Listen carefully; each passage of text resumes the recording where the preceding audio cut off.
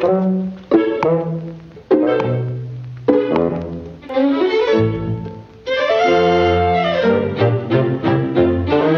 lo que voy a hacer contigo?